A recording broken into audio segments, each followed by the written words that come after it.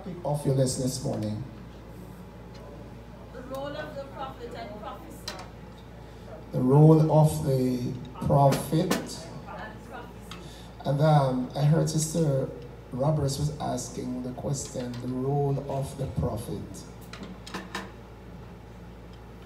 And it took so long even for a response. Just if I should ask, what is the role of a driver? To drive. Understand what I like. What's the role of a worshiper? Worship. To praise God. So, so I was expecting a swift answer. It's simple. A prophet just prophesy, foretell,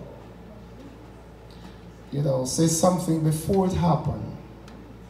So, um, if we go in layman terms, of course, it is so simple and easy. We're not looking for a great theological explanation, just in layman term. Praise God. So, um, if someone say, "Thus saith the Lord," how do you know if the Lord said or not?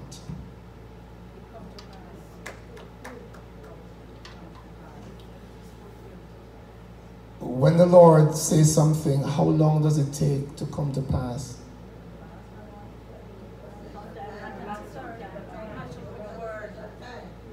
Is there a specific number of years? No. No, Bishop. Unless God gives that amount of years. Right, so there are some times you might hear a word and you might not have seen it and you believe that the Lord did not speak. But can I tell you, most of the prophets, they died before seeing what they speak from the Lord. Amen.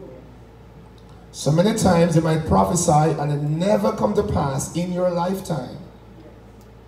But as long as it is from the Lord, it will be fulfilled. Praise God.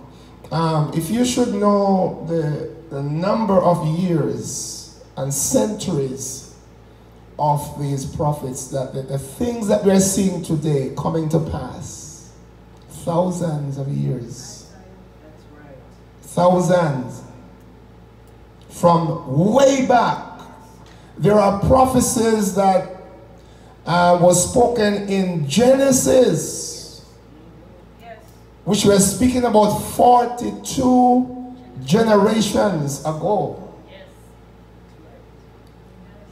Almost 6,000 years. And they're just coming to pass. This is why it's very important when you hear a word of prophecy, write it. If you hear thus said the Lord, grab your pen. Right? Even if you're running the aisles and jumping up and down and speaking in tongues, if you can hear, settle yourself, write it. Because if you don't write, you're not going to remember. There are sometimes, even in a dream, you might have a dream in the night. And you trust that when you wake up in the morning, you're going to remember that dream. Don't do that. The worst pen and paper is better than the best brain. So if you don't have a pen, if you have a pencil, use the pencil because I'm telling you, when you get up in the morning, you're not going to remember what you dream. So write.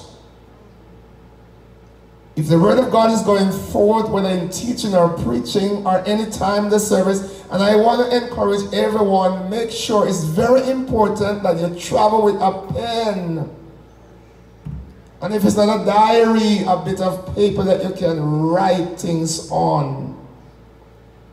Because there are sometimes some word come direct to you that you really don't want to forget them. Praise God. I think Sister Electra is writing right now. That's a good, that's a good example. It's very important, brothers and sisters, that you write. Sometimes I write in my hand. Because many times when the Lord spoke to me, I might have paper, I'm going to write in my hand. And as soon as I go, I'm going to jot it down because I want to make sure that I have those words. God bless you, brothers and sisters. Thank God for Sunday school. Thank God for our teachers. Thank God for you who are here. Praise God. The line wasn't really clear. It was um, so off.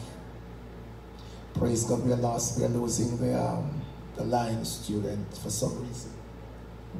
Praise God. Maybe it's time for everybody to come back into the house of God. Praise Amen. God. Sometimes you don't understand why things happen the way it does. Amen. We give God thanks. Praise God that the church is still open. Amen. We cannot guarantee for how long. But let us make the best. Let us make the best. Praise God. God bless you. Let us stand if we're Hallelujah. Thank you, Jesus. Thank you, Jesus. Bow your heads as we close. Eternal God and our Father, in the name of Jesus, we thank you, Holy Father, for this moment. We thank you for this hour. Oh God, we are grateful for this privilege that we can come in your house to magnify your name. Lord God, as we have come to the end of this session, I pray, God, for your word that went forth. I thank you, Lord God Almighty, for those who receive the word with gladness and with singleness of heart. I pray, Lord God Almighty, you help us, O oh God, to digest your word. So it will find a root, it will germinate, and it will grow in the name of Jesus. Bless your people now, God. And Lord God Almighty, as we're about to go into the second half of today's worship, I pray God Almighty will give us divine unction, give us divine direction. We pray, God. Choose the songs, the scripture in the name of Jesus as we lift up our voices, as we lift up our hands to you, God. Healing will come, deliverance will come, victory will come in the name of Jesus. We are anticipating a mighty outpouring of your spirit, oh God, today. In the name of Jesus, you are never failing God. You cannot fail God. And so we trust you now. We dedicate ourselves to you right now, Lord God Almighty, as you usher us into your divine presence, as we magnify your holy name now. In Jesus' name and for Christ's sake. Amen. Amen.